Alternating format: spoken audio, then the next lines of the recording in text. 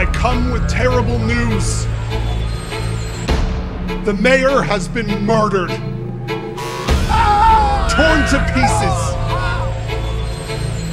One of us is not who we say we are.